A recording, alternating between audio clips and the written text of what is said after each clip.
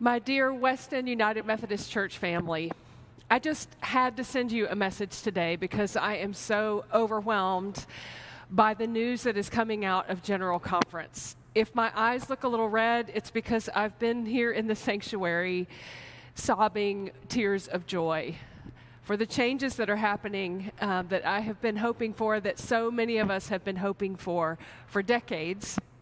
If you're hearing noises from the street, it's because for the purposes of this video, we have opened up the doors of the church onto West End Avenue as a symbol of the fact that the doors of the United Methodist Church are now fully open to all people.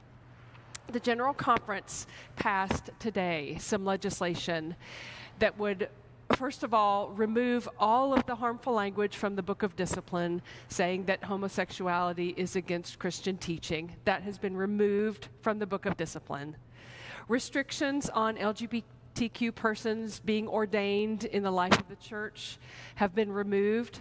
So now any church member can pursue a call to ordination freely and fully. And there were pieces that passed on the consent agenda today that would allow weddings to take place in local churches of same sex couples. The district superintendent cannot uh, prohibit a local church or a pastor from conducting and celebrating a same sex marriage in their congregation on their property. There are other pieces of legislation coming forward and other things happening, but these things have passed already with a huge margin. 93% voted yes on this consent calendar today.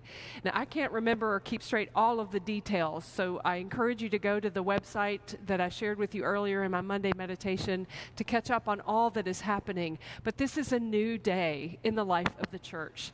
And I am rejoicing, and I believe our congregation is rejoicing with congregations all across the globe who have been waiting for this day.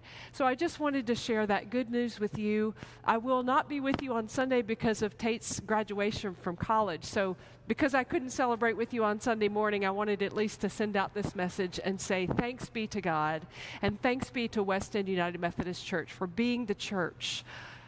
Thanks be to God. Bless you.